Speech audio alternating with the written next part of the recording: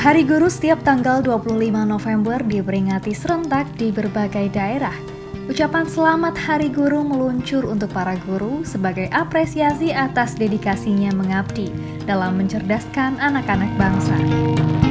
Namun sayangnya semarak itu tampaknya tidak berpengaruh terhadap animo masyarakat untuk bersiarah ke makam tokoh pahlawan pendidikan dan guru bangsa seperti Ki Hajar Dewantoro dan Ki Sarmidi Mangun Sarkoro. Di makam pahlawan Wijaya Broto Tahunan Umbul Harjo Yogyakarta justru malah terlihat sepi tanpa peziarah. Hanya penjaga makam yang terlihat melakukan aktivitas bersih-bersih dan perawatan taman.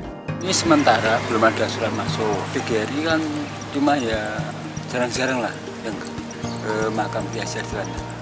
Selain Ki Hajar Dewantoro, di sana juga dimakamkan Menteri Pendidikan tahun 1949 sampai 1950 Ki Sarmidi Mangun Sarkoro, Menteri Pendidikan dan Kebudayaan tahun 1956 hingga 1957, Ki Sarino Mangun Pranoto, dan sosok berpengaruh dalam peristiwa Sumpah Pemuda tahun 1928, Sugondo Joyo Pustito.